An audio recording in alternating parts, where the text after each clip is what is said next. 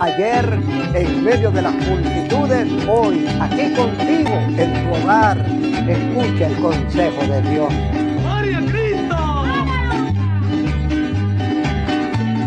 En primera de Juan capítulo 4 versículo 10 nos dice la escritura que nosotros amamos a Dios porque Él nos amó primero. ¿Cómo sabemos que Dios nos amó primero? Hace dos mil años Dios se hizo hombre y murió por nosotros en la cruz del Calvario. Por eso le amamos a Él porque Él nos amó primero